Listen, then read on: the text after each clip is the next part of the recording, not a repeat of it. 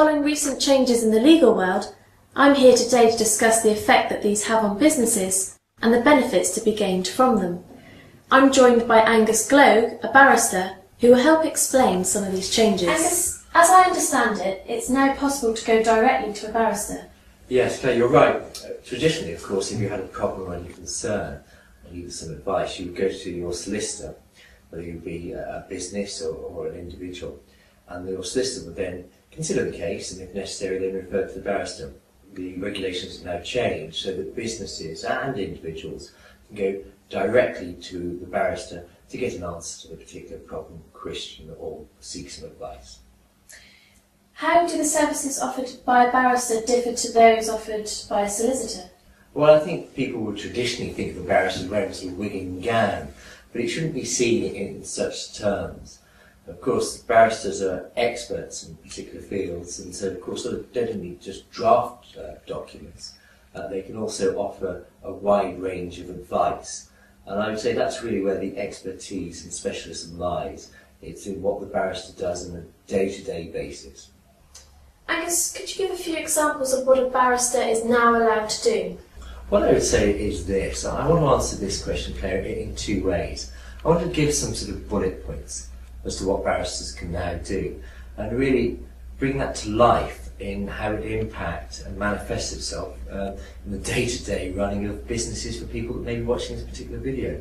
So what I say first of all is that clearly barristers can offer legal advice, they can draft documents, letters, um, draft witness statements, um, they can offer advice as to the formal steps required, they can uh, also identify, so need be, experts, but how does that impact on a day-to-day uh, level for your for businesses? Well, it means this, that if a business has a contractual issue, whether it supplies some goods not being paid for them, whether it itself has received the goods but they're not fit for purpose, whether it's in, involved in some dispute over some uh, construction matter, whether it's involved in a personal injury matter, something may have happened at work, it may be a health and safety matter, it may be a partnership dispute. It may be an employment issue.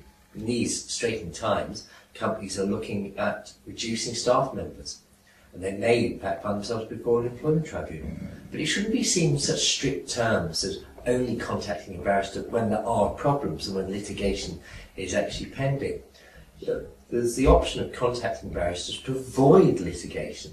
And so we touched on the employment matter. Of course, if there were considered redundancies, uh, you could look at possibly putting together a compromise agreement. And when we talked to the contractual issues earlier, uh, of finding a way of, of recovering that money owed uh, to a particular company, or finding some remedy for some goods which have been supplied to you, which really weren't up to the specification you're expecting. So I say, I, I don't think companies should be one-dimensional rigid in their thinking.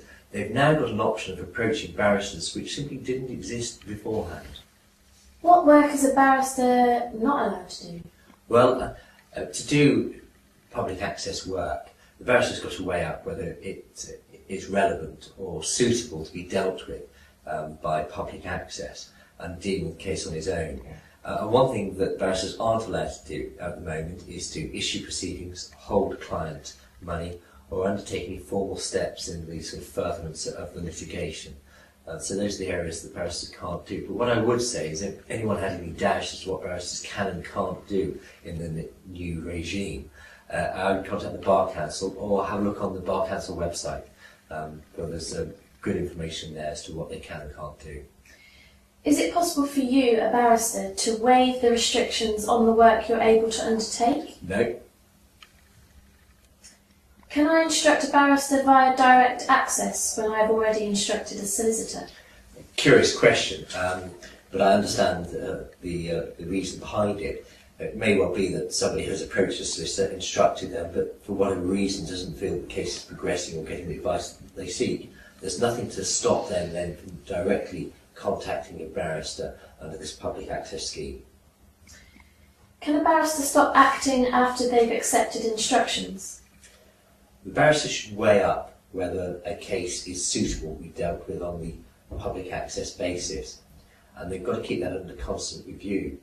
If they feel actually the case, I'm looking at it, or because the developments has got too serious or too complex, and they feel that it's not in the interest of the client, the case, or just in the interest of justice for it to be dealt with on a public access basis.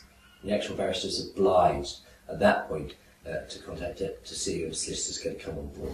So, Angus, in short, businesses can now get help and assistance quickly and directly from a specialist barrister without the necessity of first going through a solicitor. Claire, yeah, and what I've tried to get across today is simply this, is that businesses up and down the country now have an option which simply didn't